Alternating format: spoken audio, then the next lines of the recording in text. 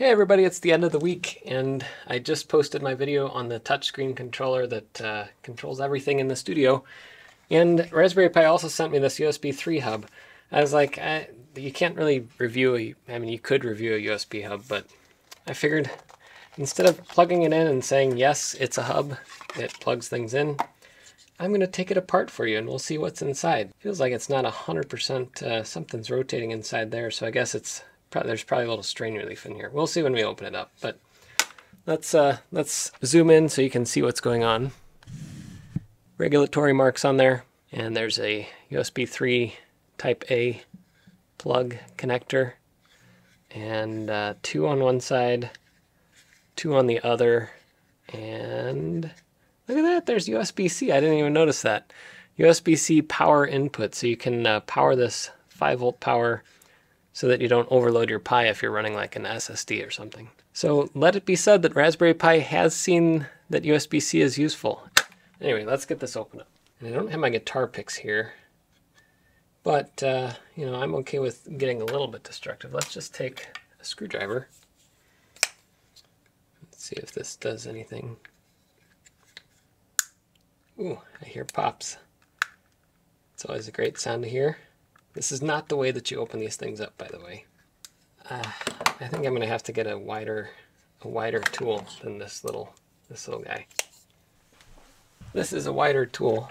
It's uh, not the ideal thing for this job, but maybe this will work better.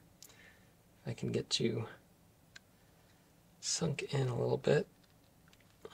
Hmm.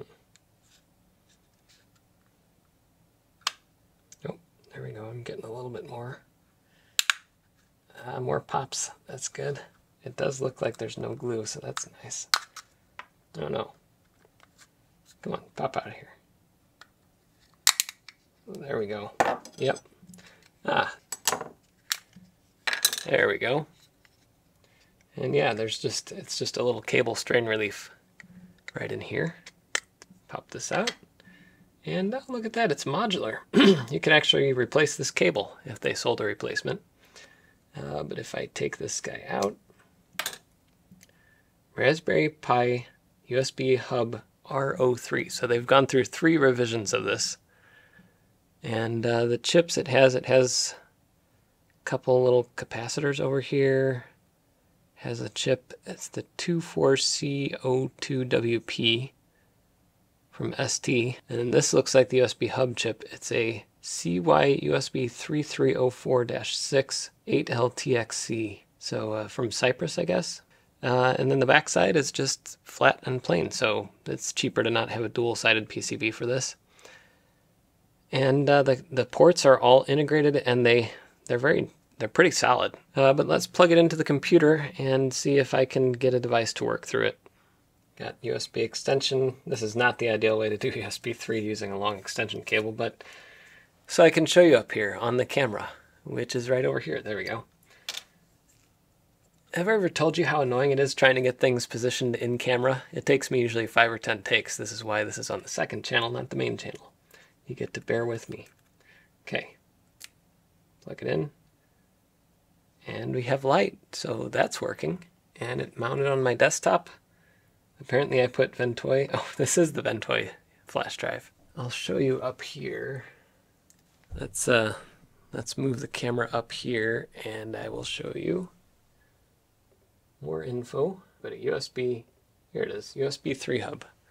And it's totally out of focus, sorry about that. Let's get this focused. And this is backwards to me, so I don't know if you can see it, but it says USB 3 hub, manufacturer Raspberry Pi serial number 000 testing. So I wonder, I, I don't know if this will be the uh, final product ID and vendor ID and all that, but uh, I wonder if that's shipping or if that's just because the one that I have right here is a uh, test prototype that they sent out a week or two ago. Anyway, that's uh, there's the USB 3 drive in case you were wondering what it looks like on the inside. Before I wrap up, the uh, testing I was doing just to show you on camera was with a USB 2 cable. This is a cheap Amazon Basics USB 2 extension cable. So uh, if you have, uh, don't use a super long extension cable if you want high speed USB. That's basically the story there. And again, see you later.